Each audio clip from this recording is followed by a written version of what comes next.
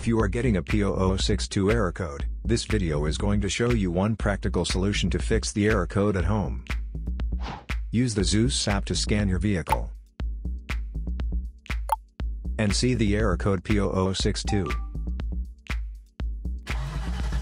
This code may be triggered when your vehicle's control module detects a fault in the heater circuit and oxygen sensor bank 2 sensor 3. Here is a simple DIY method you can try to solve this problem. Method A, the oxygen sensor. This oxygen sensor is located right after the catalytic converter. Bank 2 is on the side with the cylinder number 2. Sensor number 3 is downstream of the last catalyst in the exhaust system.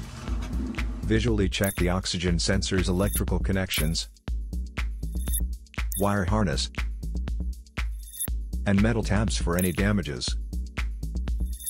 If the damages are found, then replace the oxygen sensor. If there is no damage found on the oxygen sensor, you would need to take your car to consult professional mechanics.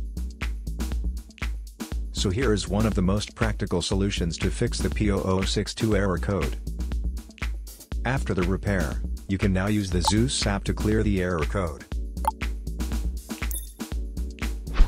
And tap the rescan button one more time to make sure everything is fine with your vehicle.